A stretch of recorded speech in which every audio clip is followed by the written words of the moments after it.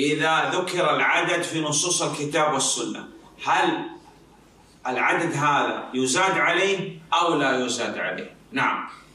ننظر. إذا وجدنا في نصوص الكتاب والسنة الأخرى ما يزيد على هذا العدد صار العدد غير محدد. وإن لم نجد صار العدد محدد لا يزاد عليه. نعم.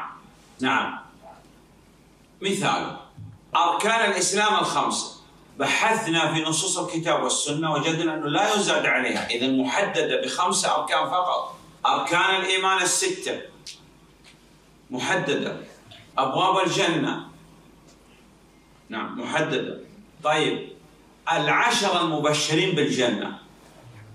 نعم. هل هناك من بشرهم النبي صلى الله عليه وسلم بالجنة غير هؤلاء العشرة؟ نعم. إذا هذا العدد غير محدد بعشرة.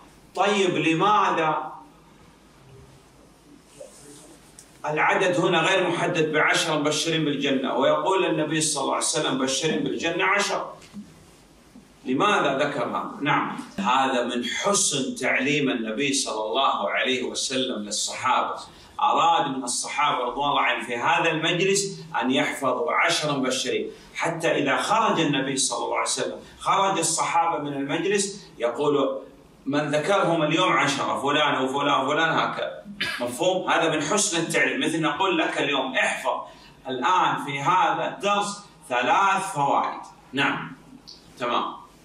وسار الشيخ المؤلف على هذا الطريق طريقة النبي صلى الله عليه وسلم. القواعد الأربع الأصول الستة نواقض الإسلام العشرة. نعم. لكن الأصول الثلاثة أسئلة القبر محددة. نعم نواقض الإسلام العشرة غير محددة أكثر. تمام.